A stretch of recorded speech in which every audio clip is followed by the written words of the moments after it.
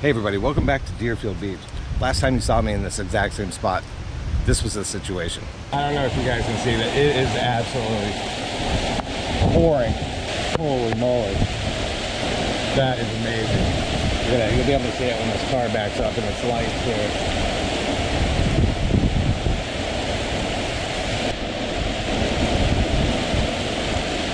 That is what a tropical downpour looks like.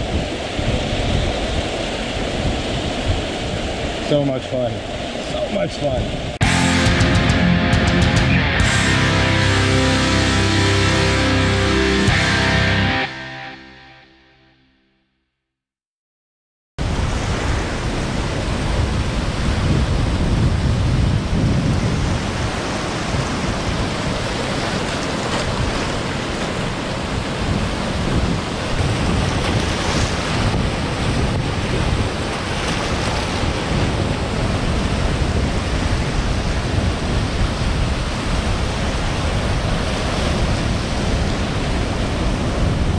Hey, good morning, everybody, and welcome back to Deerfield Beach.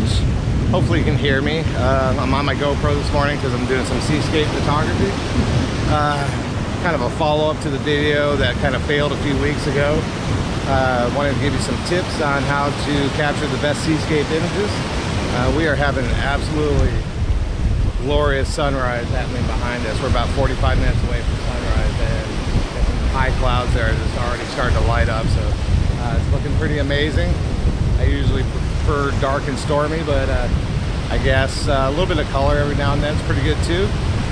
So yeah, I just wanted to give you some uh, tips. I don't have a certain set amount of tips, uh, but as we go along, I'm just gonna tell you whatever I can think of that uh, has enabled me to capture some good seascape, seascape images over the years. So uh, yeah, wow, look at the sunrise. This is looking amazing.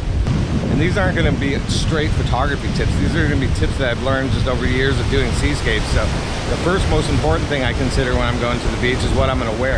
Do I plan on getting in the water or do I plan on shooting farther back? Well, today, you can see I'm pretty much in the water. You know, I'm not going to be waist deep. Uh, we're going towards low tide right now, so this water should keep moving a little farther out. But yeah, I, I do plan on getting wet, so I just wore shorts and a t-shirt. Uh, I left my shoes in the car. But you know, that attire may not work if you're shooting seascapes at, you know, in the North Sea or something. So yeah, just consider what you're wearing. Um, if you wear jeans and a t-shirt uh, and tennis shoes, probably not going to want to get down in the water. But yeah, um, it, this is Florida, so it's nice and warm. The water's about 89 or 90 degrees right now. Uh, it's like bath water, really.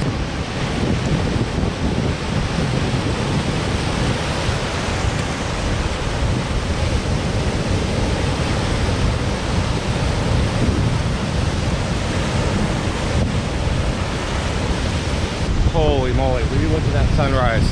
Wow, this guy is on fire this morning. Wow.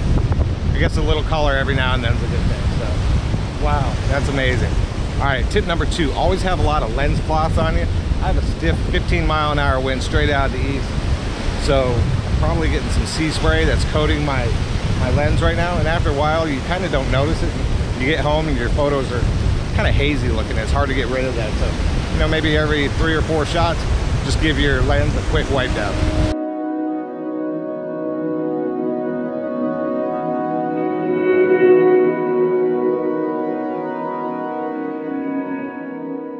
Wow, that's amazing. We just had the most amazing sunset for about three or four minutes. That sky just absolutely exploded. And then as fast as it came on, it's gone. Uh, which is cool. There's a lot of great texture in those clouds. Still a little bit of color and now some mood, so perfect. Uh, next tip is be careful where you leave your camera bag or anything you bring with you. And I speak from personal experience in this. I found my camera bag floating once, my GoPro floating, my tripod floating. Uh, so yeah, just I'm gonna wear mine today because we still have some of the surf coming in. You know, but you know, maybe something like up on those rocks back there. Uh, we're headed towards low tide right now, so it's not gonna get it back there. But I would not leave it, from experience, anywhere behind me on the beach there. Just uh, last thing you want to do is find your camera bag floating. So my next tip would be to never ever completely turn your back to the ocean. Uh, I'm kind of facing to the side right now, so I kind of always have an eye on what's coming. Like I said, we're headed towards low tide, so I'm not really worried about it. We have about three or four foot waves, uh, but they're kind of breaking out there and rolling in. So I'm not really concerned about rogue waves, but you know, I've lived in places like Hawaii and California where the surf is a lot more powerful than what we have here in Florida in the Atlantic. And uh, yeah, it, it could be bad news if you get hit by one of those rogue waves. And also, don't turn your back on the ocean and don't completely take your eye off of your camera if you're doing something like vlogging. Uh, same thing. You might get hit by the rogue wave and find find your camera floating off into the ocean. All right, so the next tip is really dig your tripod into the sand uh, for a couple different reasons. Obviously, if you get a big wave, you don't want to have your camera topple over into the water. Um, also check your the level on your camera a lot. Even if you have your tripod really dug in there, you know, the water coming in and out, in and out, is going to really soft, you know, loosen the sand and, and cause it to shift. Um, it's not really a big deal. You can fix it later in post-processing. It'll just save you a lot of time if you continually check the level on your camera.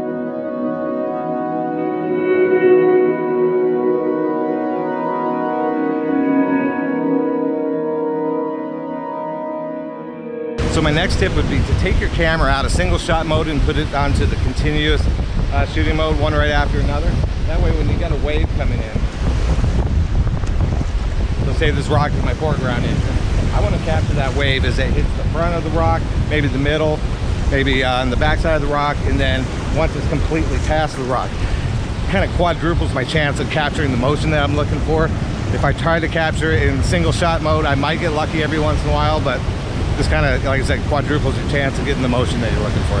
So I think I just captured the image of the day. I had a nice wave coming in, put my finger on the shutter button, just held it down, bam, bam, bam, captured like six or seven shots that wave came over the rocks. Four or five of them were terrible, uh, but two of them look amazing. So hopefully, uh, fingers crossed, I'll put those up on the screen for you here at the end of the video. But yeah, I definitely would not have been able to capture that had I been in single shot mode.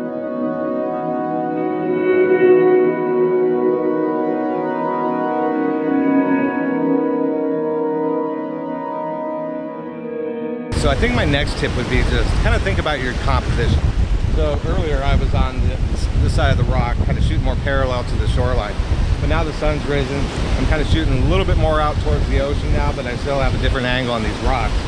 Um, the problem is you can get so obsessed with capturing that perfect motion in the waves that you get home and you get all these great shots, but you only have one composition.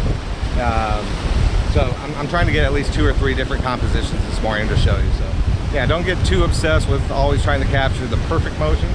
You know, once you think you got it, kind of move on to your next composition. And I think that can apply to any type of landscape or seascape photography. You can get obsessed with taking the same photo over and over and over again. So I think my last tip is to don't get too caught up in reviewing uh, the images on the back of the screen as they happen. Because you're, you just have wave after wave after wave coming in. If you're sitting here looking at your images thinking, hey, I got a great one, I got a great one, you miss that next wave that comes in. That could have been the actual great one. So, yeah, don't get too caught up in reviewing your images on the back of the screen. Just fire them off. Wait till you get home to check them out. All right, so I think my last tip is make sure you don't retract your very bottom tripod legs or any of the tripod legs that have sand on them until you can get to a shower and wash it off. And if you're at like some kind of remote beach and don't have showers, at the very least, wash it off in the ocean water and then wipe them down really good until you can get to a place where you can wash it with clean water. Um, I'm not very handy, so if I get sand stuck up in there, um, I can get the tripod apart, but I can never get it back together, so I have to find somebody who will put it back together for me or go buy it.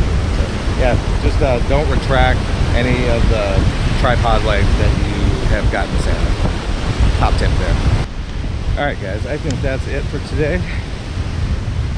I didn't even touch ISO, shutter speed, focal length, we'll save that for another video. I just kind of wanted to give you some, some maybe non-conventional seascape photography tips. I'm out of shape, jeez. Hope it seemed kind of chaotic though, because that was kind of my plan. Because when you're shooting seascapes, it is kind of chaotic. So I hope you felt like you were right there with me. And uh, just wanted to give you some non-traditional seascape tips uh, just stuff that I've learned over the years that will help you come away with a better seascape experience. All right, everybody, thank you so much for tuning in this week. If this is your first time seeing my channel, I hope you enjoyed what you saw. And if you did, go ahead and hit that subscribe button. I would definitely love to have you along for the landscape or seascape photography adventures. Everybody else, thank you so much for tuning in as always. Hope everybody's doing well out there, keeping safe, and we'll see you again next Monday. Ah, All right, guys, bye.